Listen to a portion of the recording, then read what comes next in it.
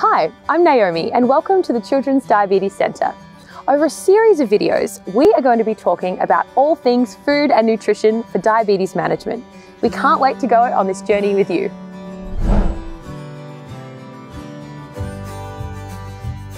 Type 1 diabetes is a lifelong autoimmune condition that affects the way our body controls the levels of glucose in our blood.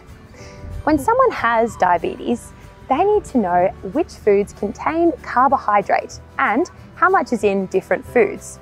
But you may be thinking, what even is a carbohydrate? A carbohydrate is the nutrient found in foods and is the main fuel that our body uses to run, play and grow. When we eat foods that contain carbohydrate, our body breaks it down into small molecules called glucose so that our body can use it. But why does a person with diabetes need to keep track of the amount of carbohydrate in their food?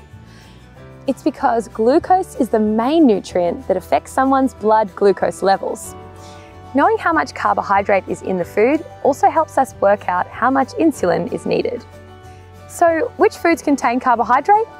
Let's look at the picnic and see what you can find.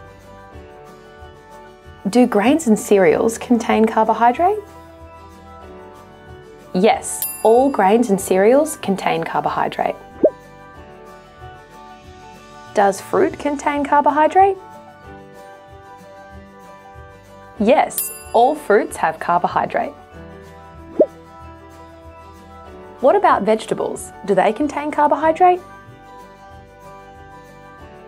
Most vegetables have some carbohydrate, particularly starchy vegetables. What do you think about milk, cheese and yogurt? Yes, all of these have the carbohydrate lactose. Do meat and alternatives contain carbohydrate? Meat, fish and eggs don't contain carbohydrate, but all legumes and nuts do. Lastly, do discretionary foods contain carbohydrate? Yes, all discretionary foods contain carbohydrate. How many did you guess right? We need to be aware that lots of foods contain carbohydrates, but not all foods are made equal. Some are more nutritious than others.